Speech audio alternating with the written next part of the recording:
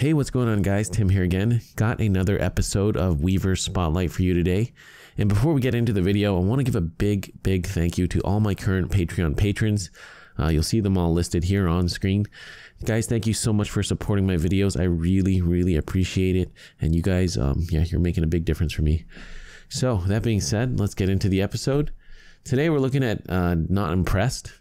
First of all, awesome screen name, of course. Uh, nice little play on words there. So, uh, knot impressed um, is uh, belongs to a uh, weaver named Danny Paracordist Danny, and um, yeah, he does some really great work. He's also um, been supporting me on Patreon for some time now. He's been one of my biggest supporters. So, Danny, thank you so much for that. Um, I'm not doing this video just because of that. I'm doing it because you know Danny does great work and he posts some really nice photos on his Instagram feed. So um, it's been a little while since he posted something, but uh, maybe doing this video will encourage him to post a little more. But uh, yeah, he does really great work, takes some really nice photos. You can see here we've got some uh, watch strap done with the mated snake knot.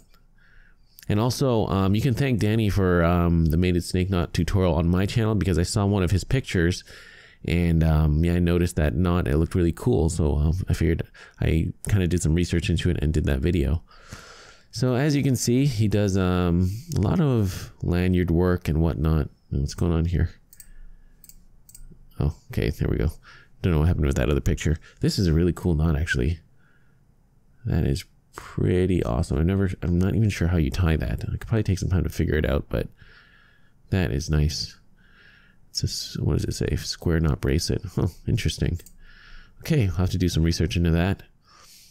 So as you can see, um, he takes some very nice photos of his work. Some monkey fists here, some uh, lanyard work. Oh, and this um this stitched snake knot here. This is a really awesome piece here. I guess it's a uh, well, it's a camera strap, which is really cool. Um, I saw this as well, and that gave me the um, inspiration to do the stitched snake knot, um, adjustable snake knot bracelet. So that's really cool. And well, he's even got his, um, as you can see here, his own customized uh, knot impressed charms, which is really nice. That is really cool. So again, more of his work. Oh, and here is the, what is this one? All oh, right, the snake knot bar. Yeah, that's the one that, um, the photo I saw that uh, was really cool. And uh, I did some research into the snake knot bar. So that's cool. And um, I believe these are breakaway lanyards. Oh, it's a necklace, but it's a breakaway kind of attachment, which is really cool. That's nice too. Looks like this is a uh, thin line sanctified. Thin blue line. These projects here are pretty interesting too. Um, I believe these are done with a um, spool. Almost like, um, it's not knitting, but I forgot what the term is. But yeah, really nice work something maybe we can do in the future. And there's his awesome logo. Knot impressed. It kind of looks like uh, what's the what's the name of that weave? Oh, it's escaping me right now. If you uh, know which one I'm talking about, you can put it down in the comments. But yeah, so um, yeah, have a look and check out Danny's Instagram feed. Um, really nice guy. I've spoken to him through uh, personal mes uh, direct messages before.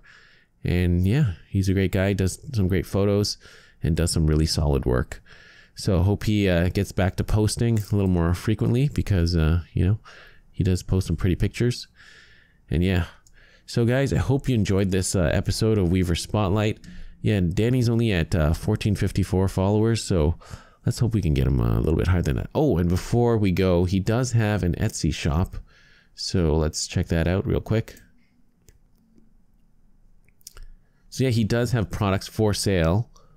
Um, and as you can see here, he does have things in stock. I'm sure he does these uh, made to order. So yeah, really cool. If uh, you feel like, you know, supporting his business and checking out some of his products, definitely check that out too.